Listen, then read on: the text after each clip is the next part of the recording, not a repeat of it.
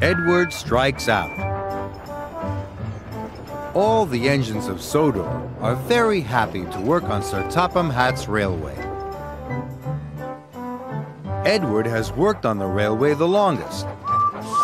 He knows everyone, and everyone knows him.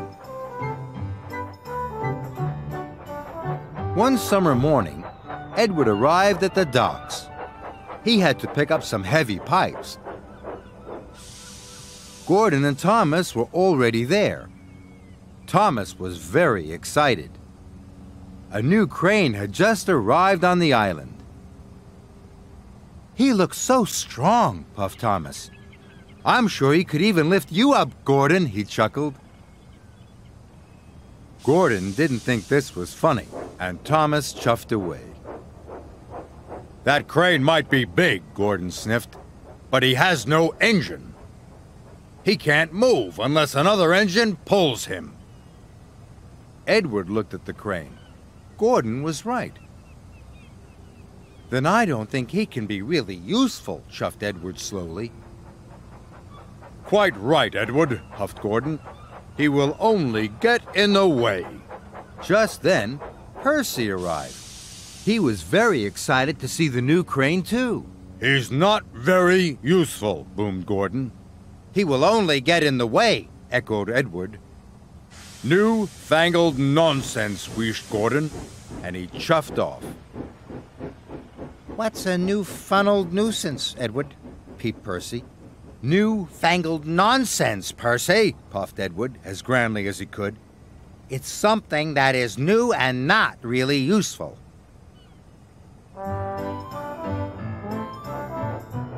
Edward's freight cars were right next to the new crane.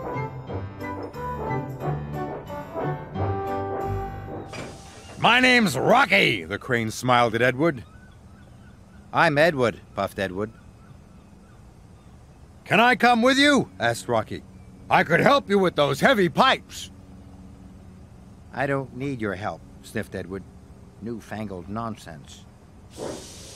And he puffed off quickly, before the pipes had been properly tied down. Edward was approaching a signal. He was thinking about Rocky, and he was going too fast. Suddenly, the signal changed to red. Edward screeched to a stop.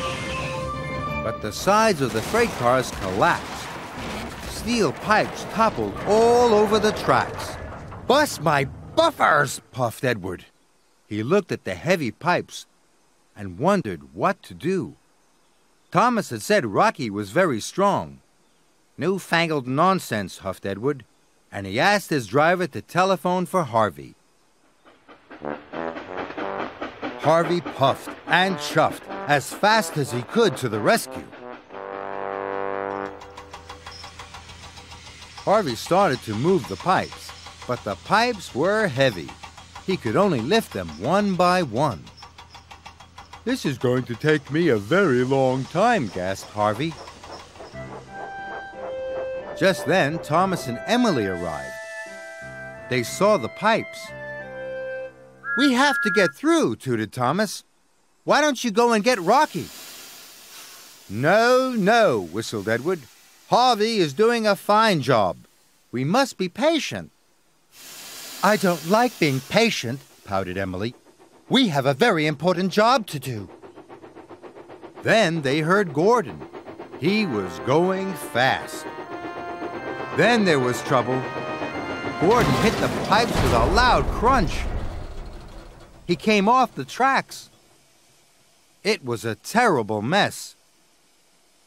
I can't lift Gordon, sighed Harvey. He's too heavy. Edward, we need Rocky, tooted Thomas. Gordon sniffed. New-fangled nonsense. But Edward knew this was a disaster, and he knew that Harvey couldn't lift Gordon. There was only one thing to do. I'll go and get Rocky, Edward wished. And he raced off.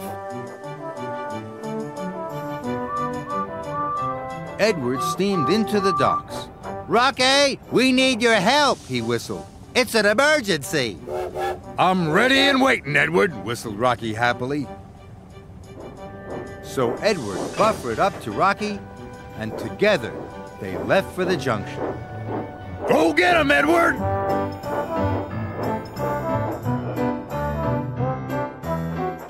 Edward pulled Rocky up hills and down valleys.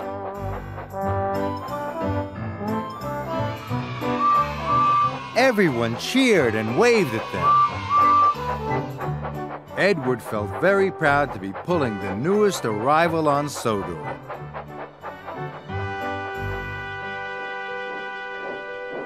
Edward soon pulled up with Rocky.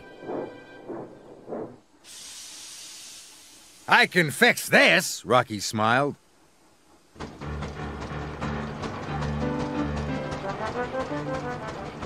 And with his mighty crane arm, Rocky lifted Gordon back onto the track.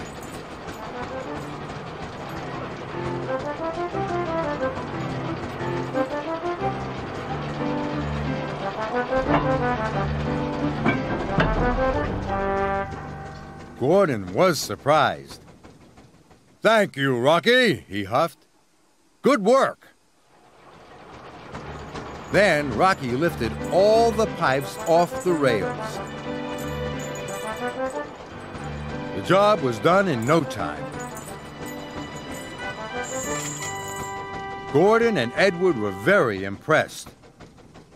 I was silly to think you were newfangled nonsense, wished Edward to Rocky. You might be new, but you're also really useful. Welcome to our island. And everyone tooted and cheered for Rocky.